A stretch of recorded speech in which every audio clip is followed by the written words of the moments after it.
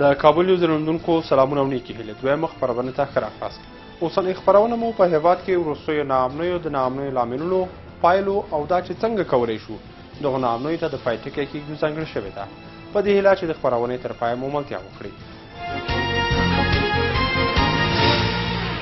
د نوي کال په راتګ سره د هیواد په بېلابېلو برخو کې د وسوالو مخالفینو لخوا بریدونه ترسره شول د نوي کال په شپه پر کابل سرینا هوټل د ننګرهار په لومړۍ حوزه او راډیو ټلویزیون په کونړ کې په کابل بانک په کابل کې د ټاکنو پر سیمه ییز دفتر بریدونه او همداراز په کندوز فراه او خوست کې ځانمرګي بریدونه ترسره شول د دغو بریدونو له امله ګڼو کسانو ته مرژوبله اوښتې ده. که څه هم وسوالو طالبانو د دغو بریدونو مسؤلیت منلی دی، خو باور دا دی چې د بریدونو تر شا د استخباراتي کړیو لاس دی. په همدې تړاو د ملي امنیت لوی ریاست وویل چې پر کابل سرینا هوټل برید د پاکستان د څارګر ادارې لوري ترسره شوی دی.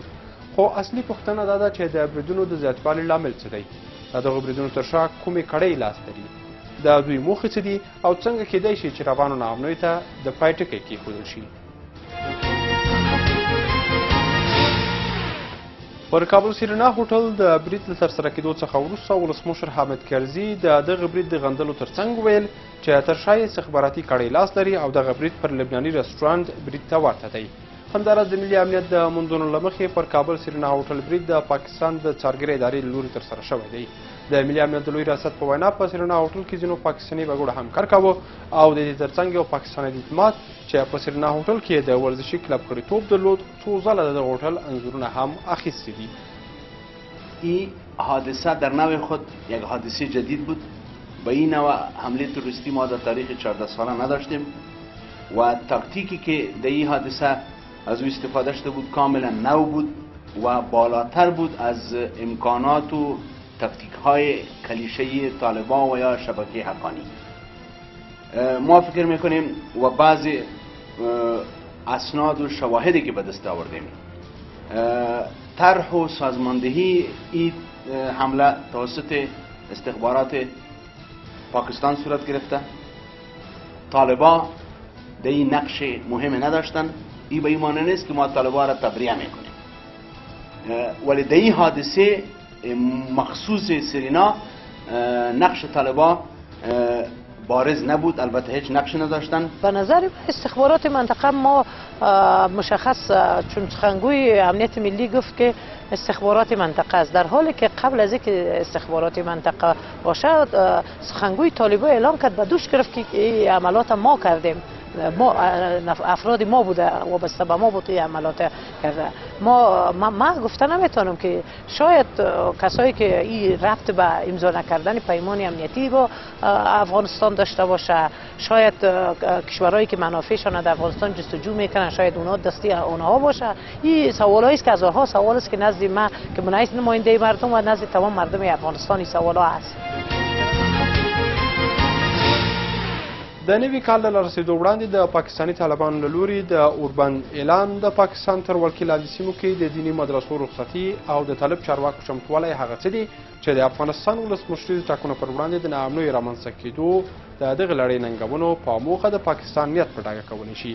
باور دا دی چې پاکستان او یو شمېر نړیوال غربي استخبارات غواړي د ناامنیو رامنځته کېدو لارې ټاکنې وننګوي او افغانستان د بحران پر لور بوځي بل لور ته د کابل واشنګټن ترمنځ امنیتي او دفاعي سند هغه څه دي چې د ځینو کتونکو په باور د افغانستان پر روانو ناامنیو او پر افغان حکومت د فشار په برخه کې اغیز درلودلی شي د امنیتي سند په تړاو په رابلل شوې لویه جرګه کې ولسمشر کرزي وویل چې د امنیتي پیښو کچه راټیټه شوې خو هغه مهال چې ولسمشر کرزي دغه سند لاسلیک په موخه خپل شرایط وړاندې کړل د ناامنیو کچه زیاته شوه او دا اندېښنه یې رامنځته کړه چې ناامنیو تر شا دې د نړۍ د لویو غربي استخباراتي کړیو لاس وي کتونکي په دې باور دي چې د نړۍ ستر قدرتونه غواړي د هیواد په ناامنه کولو سره پر افغان حکومت فشار راوړي څو د کابل واشنګټن ترمنځ امنیتي سند لاسلیک کړي باور دارم که طالبان هر عملی را اگر انجام دادن یا ندادن چون مجبور هستند به عهده بگیرند هر عملی را که انجام داده به باور ما استخبارات نیرومندی بوده و پشت ازی که تانست همچه عملی را انجام بده یه خو استراتژیک پلان نه لاسلیک کول باید مو په ګوته کو هغه په دې منا باندې چې مخکې هم سی آی ای او آی اس آی تر اوسه پورې د افغانستان په ارتباط ګډه پالیسي لري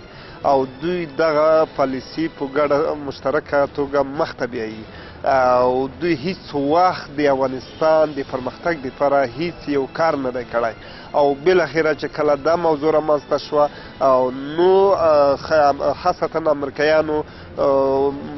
د پاکستان او آی اس آی ته وظیفه ورته ورکړې ده د هغې په همکارۍ په افغانستان کې داسې بریدونه ترسره کړي ترڅو وښیي چې که چېرته موږ نه وو او موږ همکاري نه وي نو په افغانستان کې به داسې کم حالات راځي نو ښه ده چې موږ سره ستراتیژیک پلان لاسلیک کړي او دویم دا چې تیر دولسو کلو کې تاسو ولیدل چې هغه د دوی استوګنې او د دوی سلاوې یو شی موږ د افغانستان اردو ته پرې نه ښوده او اوس یې کرادات کړی دی د پاکستان اردو ته پاکستان پوځ ته دا ټول تجهیزات ورته ورکوي نو که چیرته دوی صادق وای رښتینی وای نو دوی به د افغانستان اردو سره دا تجهیزات ورکړي او موږ په کیفیت څه کوو موږ کمیت ته ضرورت لرو موږ باید اردو تجهیزات ولري کله چې په کوم ځای نه برید کیږي موږ دومره هلیکاپټر او هوایي ځواک نه لرو چې هلته لاړ شي او خپلو پوستو نه دفاع وکوي تر نن ورځې پورې یې سوالګر ساتلي دي تر څو چې د خارجیانو نه مرسته وغواړي او دوی هوایي ځواک ترې وغواړي نو دا هغه پالیسۍ دي د امریکا او د پاکستان چې نه غواړي افغانستان رشد وکړي او پرمختګ وکړي او اوس افغانستان دې ته مجبوروي چې امنیتي ستراتیژیک پلان لاسلیک کړي اما د افغانانو جرأت او احساسات یې نور هم قوي کړه او دې ته یې لیواله کړه چې ولسي جرګه کې اولین زه د دې مخالف یم د دې ستراتیژیک پلان د امضا یا تصویب اولین کس زه یم چې مخالف یم ځکه مخالف یم چې د دوی دیدګا او د دوی باور په افغانستان باندې نشته او دوی صادق نه دي رښتیني نه دي او نه غواړي چې افغانستان روش وکړي په مقابل کې یې داسې کم بې امنیتۍ هم رامنځته کړي دي. په دې کې شک نشته دی چې یو څه ناڅه ناامني زیاتې شوي دي او دا دا باید زیات شي ځکه په دې باندې موږ ټول پوهېدلو ځکه دا دا دا اوسنی دوه زره څوارلس داسې یو کال دی چې د افغانستان دپاره یو امتحان دی او د افغانستان دپاره یو سرنوشت ساز دی د افغانستان دښمنان چې په دې دېرشو کالو کې څومره سرمایه ګزاري کړله هغوی به په دې نامنیو کې حتی د خپل وس نه اضافه کوشش کوي چې وضع نارامه کړي او دنیا ته وښیي د افغانستان اوسنی نظام ضعف او یا د امنیتي ځواکونو ضعف خو بیا هم زیات د تشویش وړ خبرې نه دي دا دا مشکلات د دې اوسنې وخت سره ان سړی که فکر وکړي دا نامني په هر ځای کې کېدای شي ځکه د انتحاري نه وتل یا دغسې ځان انتحاري کول مونږ داسې یو یو خطرناک جنگ سره مواجه چې دا استخباراتي جنگ دی قبلا هم پیش بینی میشد که در آستانه انتخابات شبکه های تروریستی مانند طالبان با افزایش حملات تروریستی خود سعی بکنند که پروسه انتخابات را ناکام بسازند اما متاسفانه بعضی از اقدامات بیمحاسبه حکومت جناب آقای کرزی سبب افزایش خشونت ها شده رها کردن صدها تن از متهمین به حملات تروریستی و منصوبین شبکه, شبکه های دهشت افکن از زندان ها و همچنین تعلل در نهایی ساختن پیمان امنیتی با ایالات متحده آمریکا توانسته که روی وضعیت امنیتی افغانستان اثرات نامطلوبی به جا بگذارد